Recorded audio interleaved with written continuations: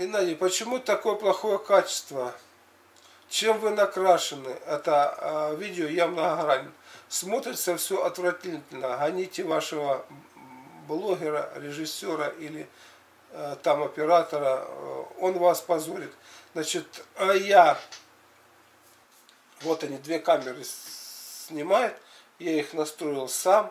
Значит, тогда, насколько я понимаю, я э, был на рыбалках, и солнце и так меня светило, и отражение как раз было от воды, она отсюда, то есть такое двойное излучение. Это просто такой у меня загар возник. Вот, вот так вот. Поэтому я ответил.